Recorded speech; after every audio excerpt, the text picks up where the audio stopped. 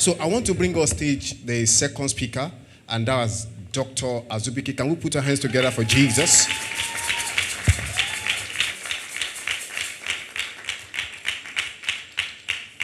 Praise the Lord. Thank you so much, Pastor. Thank you. I was thinking of what to tell us. Uh, I said I'll still tell my story. Um, I got born again when I was seven to nine years. I don't think it's normal for everybody here. And sometimes pastors say it's not possible, but I know it's possible. I, I, we met Christ. One man took me out and they prayed for me.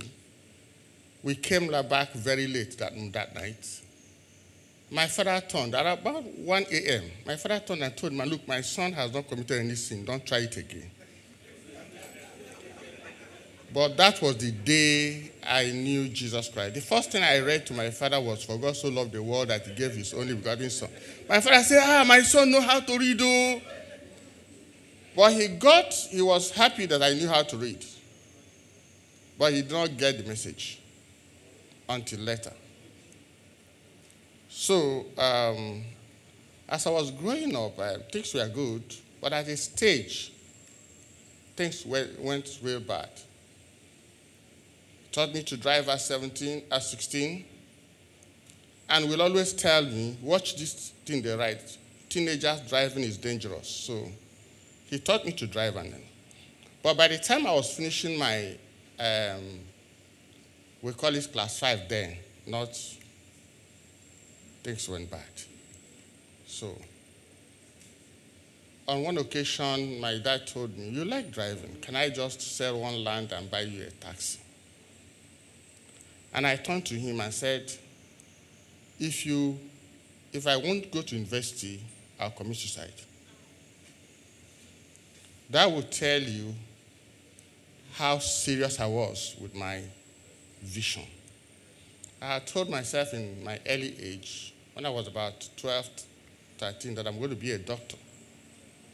And I visioned it this way. I said I was going to have a good hospital where people that are sick will come, and I will treat them, and I will wear my white and be walking like a big man. I will not ask them for money.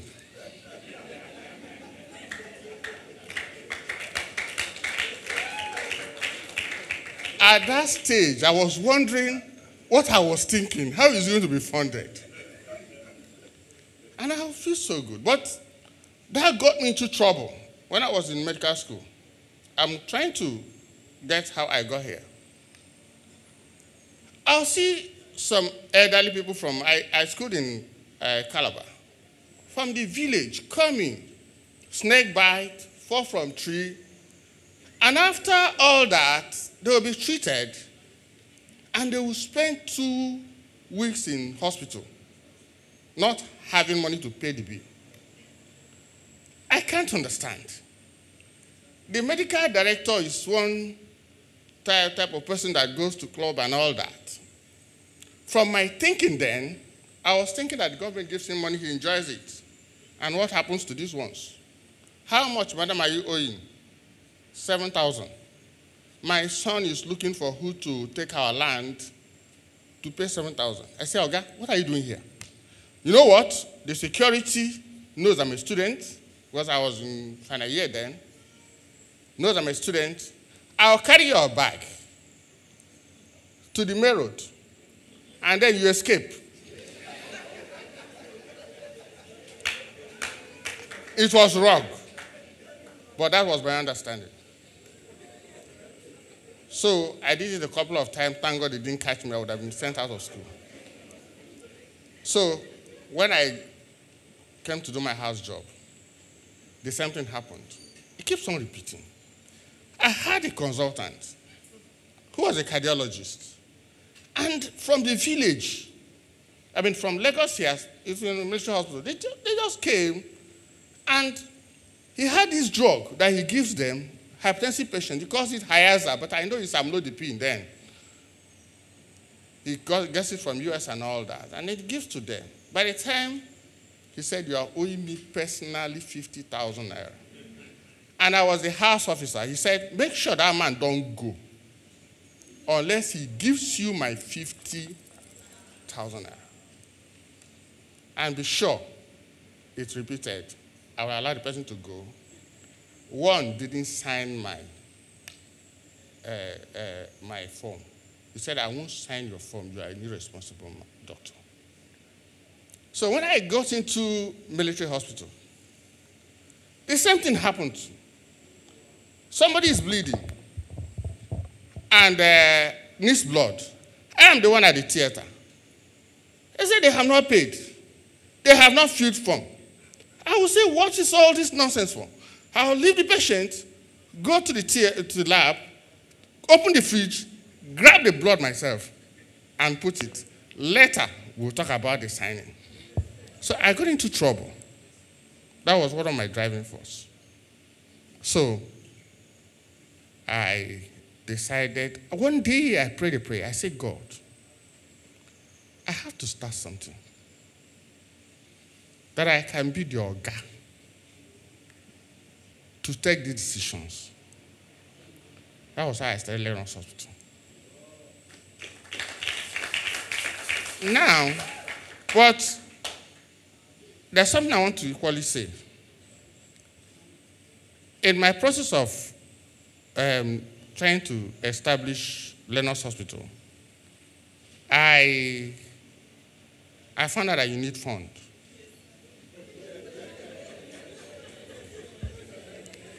Very, very distressing. So I was trained over time to be strong. Just last week, I, I have to say this in order to continue. Just last week, I had a, one of our members here coming to my hospital with a wife bleeding. I drove out. I came back again. I said, You are here, laughing, calling phone. Your wife is dying. Get money for us to buy blood.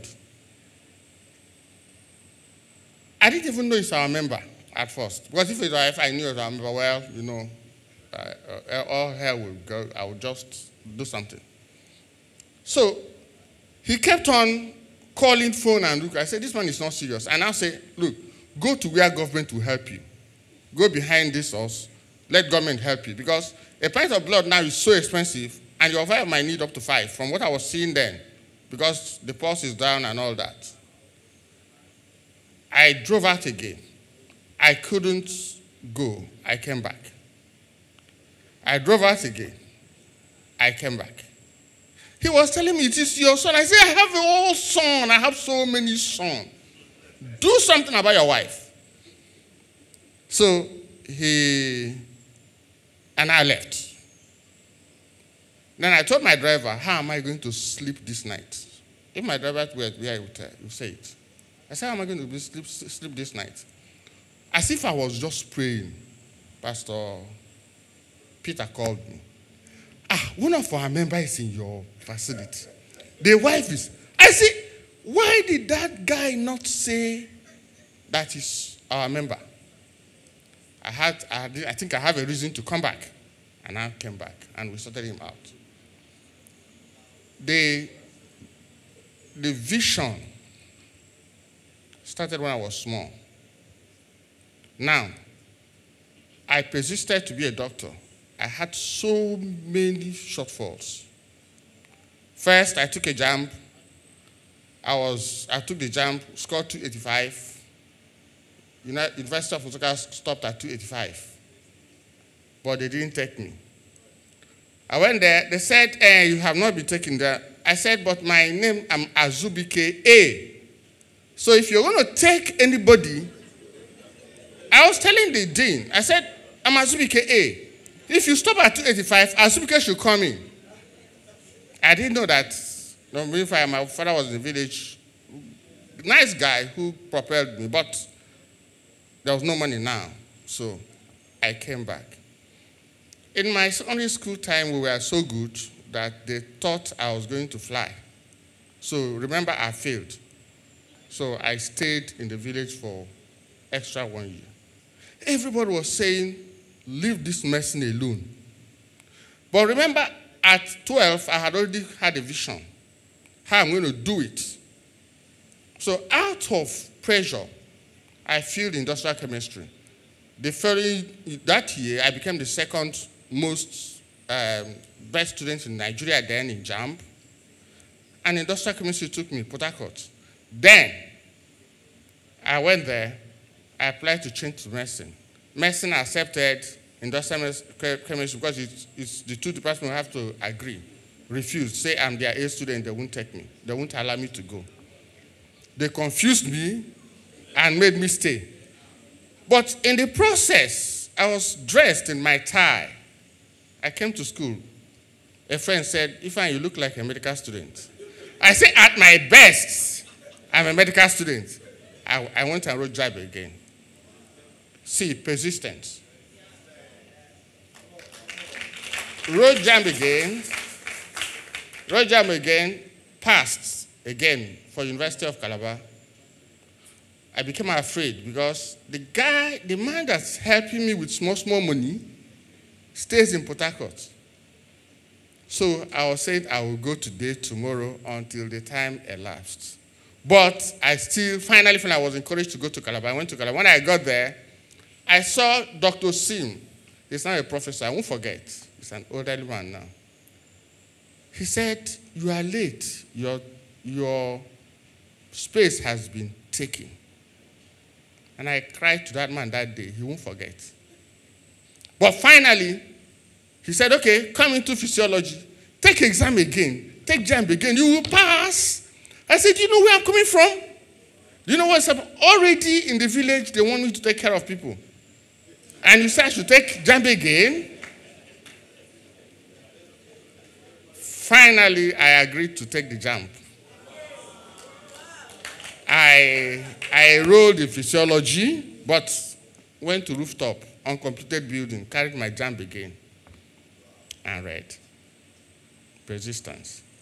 I read again, I passed again. When I passed again, I brought the result to now Professor Sim. He jumped from his chair, carried me up. After all the celebration, he took me all the round of uh, registration. He paid my registration fee.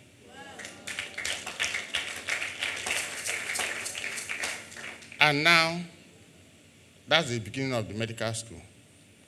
When I finished school, I read in that pamphlet that you cannot be driven out from school if you are owing school fees, but you must pay before you get your certificate. So, even when they say you have not paid, though, come and pay, I know you have no right to stop me from taking exam.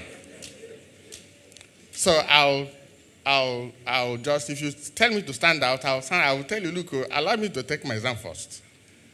I still completed. It took me two years to finish my pay, paying of my bills. So I graduated in this year, but was sworn in two years after. So, and I began the journey. Persistence. At that time, people had forgotten me. In fact, they stopped paying my, giving me school fees, I mean, school anything when I was in year four. You know Nigerian school, six years program, we got nine years. So, so persistence. But I had some good friends in school, professors, that was helping me. When I got into school, I want to check it to see. When I got into school, I was in the school choir. I don't know if I'm my 15 minutes. Let me leave too. Um, I was in the school choir. So when I had these difficulties, I had people that will always give me at least the food. I remember on one occasion, is it 15 minutes? One minute. Ah, the story never starts. Anyway, I had in this uh, occasion I went so, so, so, to see how bad it could because somebody might be here thinking that you have an opportunity. Everybody, most people have the reason to be under the bridge. But they are not in the, under the bridge because they chose not to. Your difficult time may not have measured up the other person. I remember when I went to one, one of the food seller, I said, you're going to give me food small, small, small. Eh? Later I will pay you. Say, look, let's sign. You will marry me, I'll give you food. In Calabar. You see, you cannot. I pray that this blesses somebody. See, you don't know where I'm coming from. You don't understand. The Lennox Hospital, it was a patient I saw that said when I had problem in the military hospital, somebody didn't like my face and then started being funny. He said, Doctor, if they say they won't, you won't see us here, take us outside now. And I began to say, this thing is what I. I cannot express myself here. A patient found a Lennox Hospital. A patient borrowed money, which I paid later, gave me, to pay half of the price of the rent. I said, oh, how much is your rent? He said, 1.5 million. I said, I give you 500,000. I start. As I go, I to give you. The man said, yes. You see, you can make it out of nothing. And, and uh, I'm just telling this little story. It never starts. The story big. But I look at it, the vision is straight. Like he said, I know how God deals me. If I put my hand there, I watch his movement, I watch what the Lord is doing. If he doesn't want to give this me how I walk, if he doesn't want to answer me, I sow a seed because of where I'm coming from. I give something. I say, God, what are you saying about it? He will always talk. And if I know God is in it, I don't care. Even if the world, where I have not left, my friend left the other day. In fact, all my friends have all, almost all they have gone. God has not told me to go. He told me that in this land, I will sow. I will reap sevenfold. It's a matter of time. Praise the Lord. Now the next questions are directed to uh, Dr. Azubuike. Uh, number one question says, I got a loan f- to start a business, but I wasn't able to pay back because it didn't work as work out as expected. What do you, what can you say to advise? Okay, I, I think it has a rider. Sorry, sir. Okay. Um, I'm finding it difficult to get funding to start again or even start another business. How do I go about it? Okay. Um,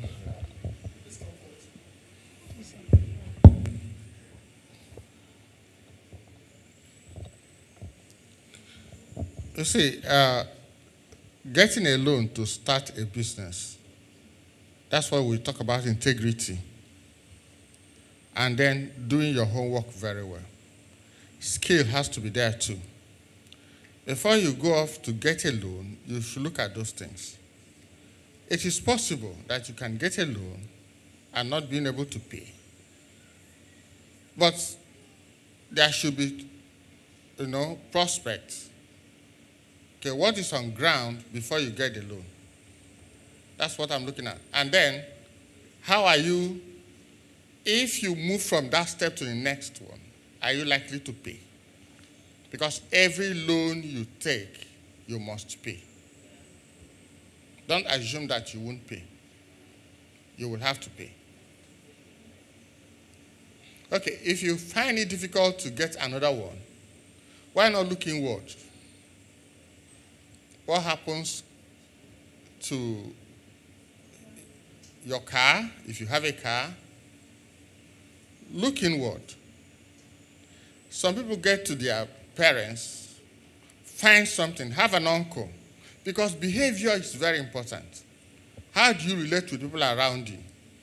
Because the easiest way to survive is not even bank loan. It's the people that you're nice to, the, your relations, that, that will not hold your neck when you default. You see, it is, it is, it is something uh, with the current thing happening in the country. For starters, is difficult, very, very difficult. Because you have an idea what you're going to make from this, and suddenly government change, um, what Lagos State government is doing now, things will change. And you find out that more people are out of job, so your business may not do well. But if you get a loan from bank, they will hold your truth. But if you're nice, For example, let me give my uh, uh, experience. When I needed to start the hospital, somebody found the building. The, it's, a, it's a patient. In fact, the, the thing is that the wife wants to get pregnant, and I was just treating. But he saw how we are, I'm dedicated. So he told his friend, Look, I know one doctor that must succeed.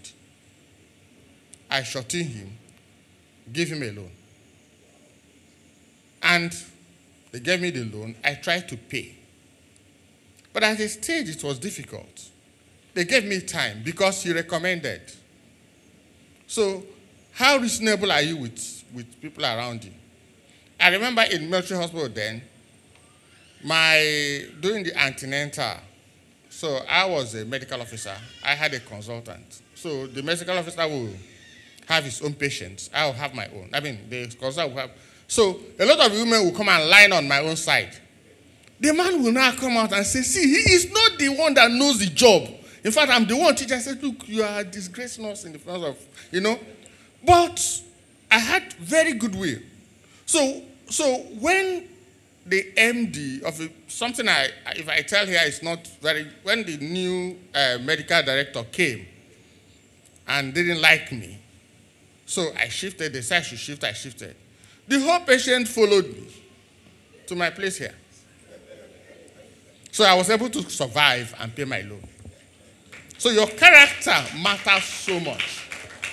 I remember what uh, P1 told me one day, and that's my has been my. He said, "I like your attitude of response." That has been me. So you getting a loan, not being able to pay, it's not just about the money; it's about you. Thank you, sir. Thank you. Another one, please, before you step down. How do you keep emotions aside at work? Mm, that's the big one. Emotion. Emotion must come in. A, a doctor that doesn't have emotion, um, you can't do the job.